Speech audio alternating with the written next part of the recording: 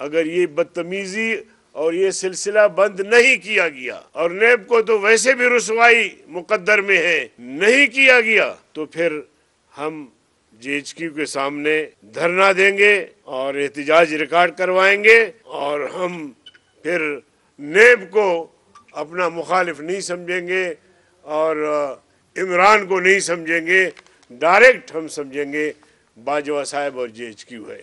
कि मौलाना फजल रहमान साहब, जो जमीयत इस्लाम के सरबरा और पी पीडीएम के सदर हैं, जो मुल्क में आइन की बालादस्ती, अवामी हकूक के साथ साथ मुल्क में जमहूरी अकदार की सरबुलंदी के लिए तारीखी किरदार अदा कर रहे हैं के खिलाफ किसी भी सतह की कार्रवाई या किरदार कुशी, या नाब नेब का नाम लेकर कोई इस तरह किरदार कुशी, हम समझेंगे कि ये नेब नहीं है, ये इमरान नहीं है, ये जे एच क्यू रावलपिंडी है।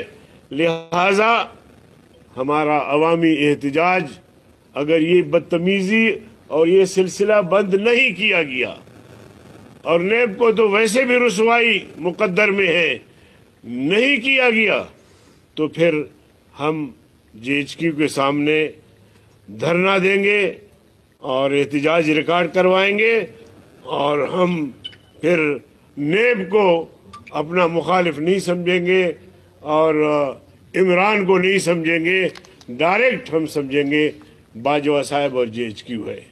तो इसलिए मैं बाजवा साहब से भी कहना चाहता हूँ। जेएचक्यू के जिम्मेदारान से कहना चाहता हूँ कि न छेड़ मलंगानू। न छेड़ मलंगानू।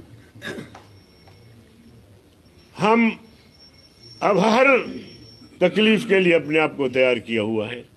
इसलिए खुदारा, इस मुल्क को तसादम की तरफ़ मत ले जाओ। छोड़ो हमें।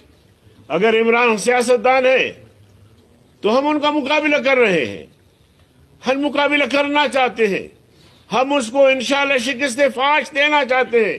और आज भी मैं दावे से कहता हूँ कि तुम अगर अपना दस्त शफकत उनसे हटाओ तो धड़ाम से इसकी हुकूमत गिर जाएगी। इसके पास अक्सरियत नहीं। YouTube पर गूगली न्यूज़ देखने के लिए YouTube.com की सर्च बार में गूगली न्यूज़ टीवी टाइप करें। गूगली न्यूज़ के पेज पर सुर्ख रंग के सब्सक्रिप्शन वाले बटन पर क्लिक करना ना भूलिए। YouTube पेज पर अपलोड होने वाली वीडियो से बाखबर रहने के लिए बेल आइकन पर क्लिक कीजिए। आपको हर नई वीडियो के बारे में नोटिफिकेशन मौसू हो जाएगा।